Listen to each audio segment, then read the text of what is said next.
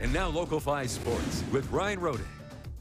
Trips to the WIAA state boys and girls hockey tournaments were on the line tonight. And on the guys' side, two of the best programs in Northeast Wisconsin faced off with a trip to Madison on the line. Neenah Hortonville Menasha matched up with Notre Dame at the cornerstone. Second period, scoreless. Notre Dame on the power play. Rockets, Cody Diaz on the attack. He gets the wrister to go for the shorthanded goal.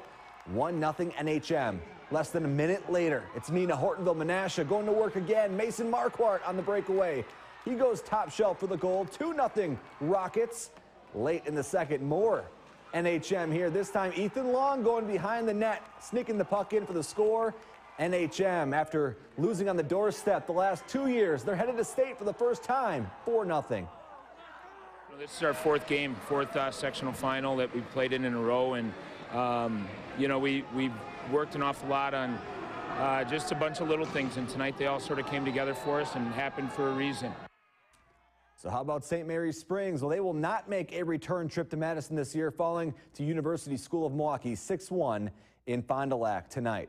On the girls' side, Fond du Lac Co-op squared off against the Fox City Stars. Warbirds get on the board first in this one. Hattie Verstagen puts it on net, and the puck squeaks in. Fondy by one to the second now. Abby Oken makes the save, but Madeline Jablonski there to knock in the rebound, and we're all tied up. Didn't take long for the Stars to go in front. On the breakaway, Michaela Zilich, check it out, buries the backhander. Fox Cities headed to Madison. They win 5 to 2